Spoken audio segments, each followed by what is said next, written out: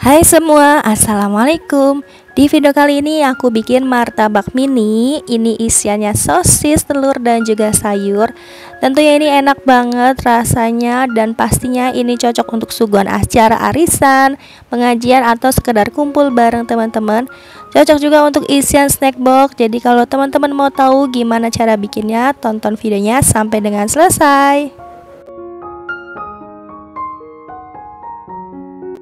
Oke, yang pertama kita akan bikin kulitnya terlebih dahulu. Siapkan 300 gram tepung terigu, kemudian tambahkan 2 sendok makan tepung tapioka. Tambahkan 1 sendok teh garam. Kita aduk dulu supaya bahan yang kering ini tercampur semua, tepung terigu, tapioka dan juga garamnya. Kemudian ini akan kita tambahkan dengan air, tambahkan air sedikit demi sedikit supaya nggak ada yang menggumpal. Untuk banyaknya air di sini aku pakai kurang lebih 650 sampai dengan 700 ml. Disesuaikan aja ya kalau misalnya adonannya ini enggak terlalu cair banget dan enggak terlalu kental. Ini tambahkan air yang terakhir ya teman-teman. Semuanya ini kita masukkan dan kita aduk perlahan seperti ini Kemudian tambahkan 2 butir telur, kita aduk lagi, pastikan gak ada yang menggumpal ya teman-teman. Kalau perlu kalian bisa saring supaya lebih yakin lagi adonannya ini sudah tidak ada yang menggumpal.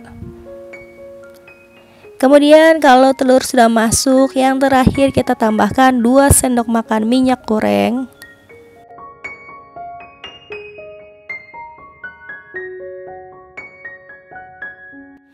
Aduk kembali sampai tercampur merata, kita diamkan adonannya selama 30 menit supaya adonannya ini lebih elastis dan lebih lentur lagi biar nanti kulit dari martabaknya ini enggak gampang sobek.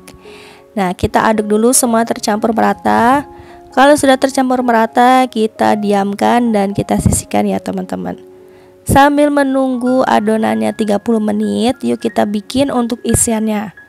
Panaskan minyak, kemudian kita akan tumis bawang merah dan juga bawang putih.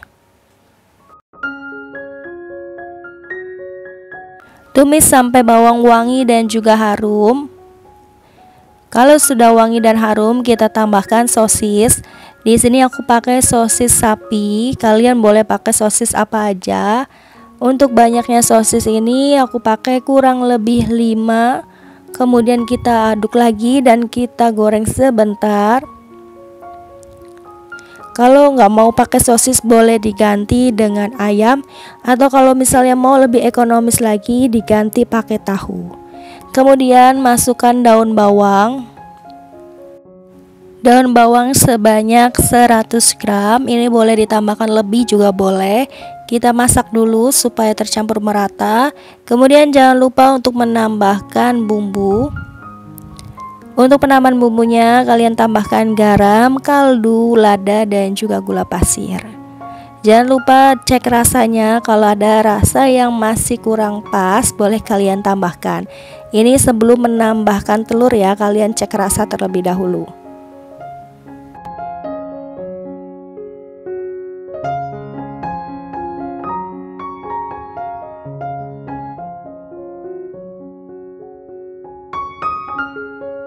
Pastikan rasanya ini udah pas, udah cocok ya teman-teman. Kalian cek lagi rasanya. Kalau dirasa udah oke okay, rasanya, lanjut kita tambahkan 4 butir telur. Nah, ini telurnya kita masak setengah matang aja sambil diaduk supaya tercampur semua bahannya. Kalau kalian mau ganti sosisnya pakai tahu, telur ini tetap wajib ya teman-teman. Telur dan juga sayur ini wajib dikasih. Karena martabak sayur kalau misal nggak pakai telur ini nggak enak ya teman-teman. Pastinya wajib pakai telur.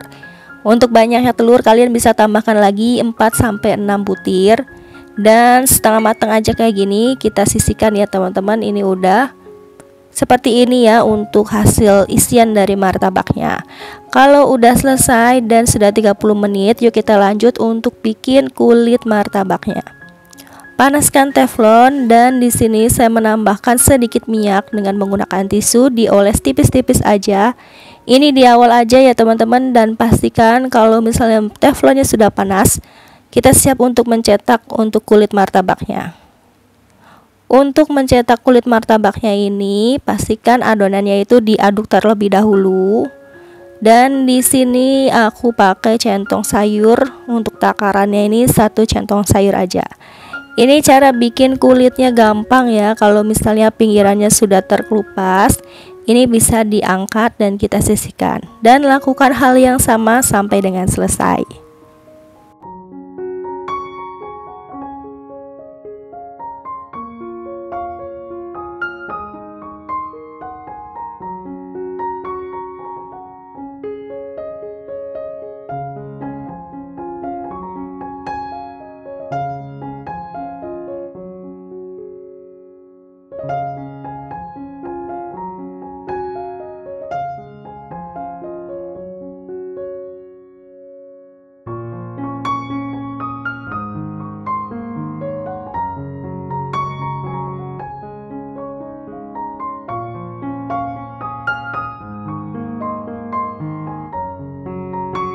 Kulit martabak ini sama untuk kulit risoles, jadi kalian bisa pakai ya bikin risoles, bikin sosis solo juga bisa. Dan ini semua udah selesai, hasilnya banyak ya teman-teman. Kalau sudah selesai, kita akan lanjut untuk membentuk isian dari martabaknya. Ini udah selesai ya teman-teman, yuk kita lanjut buat bungkus atau bikin martabaknya. Oke, yang pertama kita ambil satu lembar kulit martabak dan kita isi kurang lebih satu sendok makan atau isinya kalian boleh sesuaikan lagi. Kalau di sini aku pakai satu sendok makan setengah supaya isinya ini lebih padat dan lebih enak. Nah, kita akan lipat sisi kanan dan kirinya seperti dalam video seperti ini kemudian tekan-tekan dan untuk lemnya ini aku pakai terigu dan dilarutkan dengan air. Ini supaya adonan martabaknya ini kalau misal digoreng nggak lepas ya teman-teman. Jadi lemnya cukup terigu yang dikasih air aja seperti ini. Kemudian tinggal kita lipat aja sisi atas dan bawahnya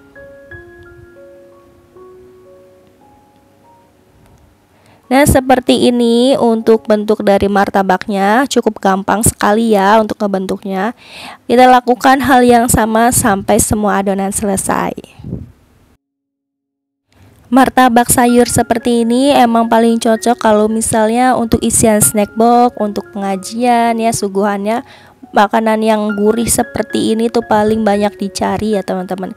Apalagi kalau ditambah dengan cabai ini makin enak banget Nah, ini seperti ini ukurannya. Kalian boleh sesuaikan lagi kalau misalnya untuk ukuran dari martabak mini ini tergantung teflon yang teman-teman pakai ya. Kalau di sini aku pakai teflon yang ukuran 20 cm. Kalian bisa pakai teflon yang ukuran lebih besar kalau pengen ukuran martabaknya ini lebih besar sedikit.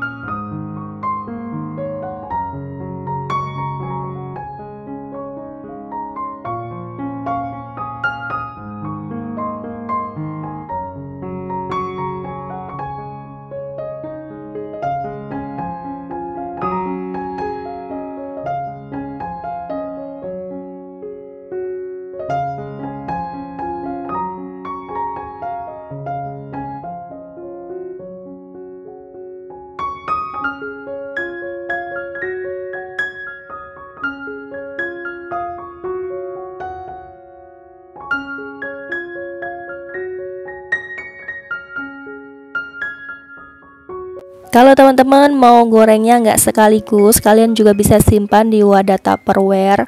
Untuk alasnya itu dialasi dengan plastik supaya nanti nggak menempel satu sama lain. Nah seperti ini ya kira-kira harus dialasin plastik seperti ini dan menggunakan tupperware kalau kalian nggak mau langsung digoreng. Nah ini mau aku goreng semua aja, tinggal kita goreng ya teman-teman.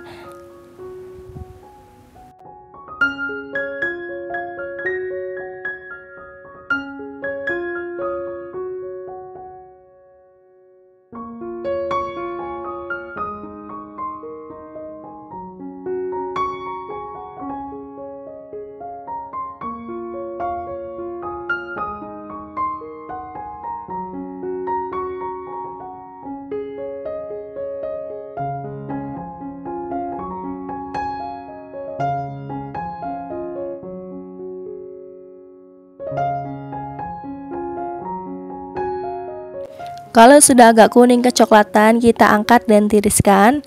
Lakukan hal yang sama untuk martabak lainnya yang belum digoreng.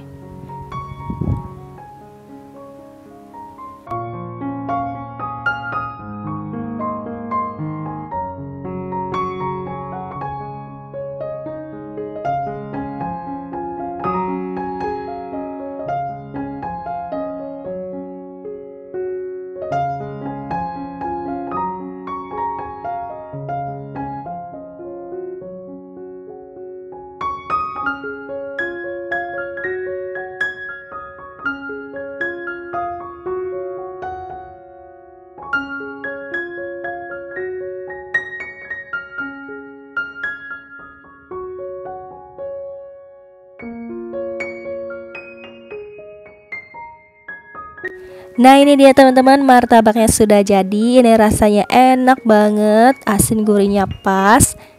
Untuk dalamnya isinya juga enak ya padat seperti ini. Ini bisa untuk ide jualan teman-teman. Bisa juga untuk isian snack box. Untuk harga jualnya kalian bisa jual dengan harga 3000 sampai dengan 3500 Atau boleh kalian sesuaikan sendiri dengan isi yang kalian mau dan video kali ini cukup sampai di sini dulu ya teman-teman. Semoga video kali ini bisa bermanfaat dan sampai ketemu lagi di video selanjutnya.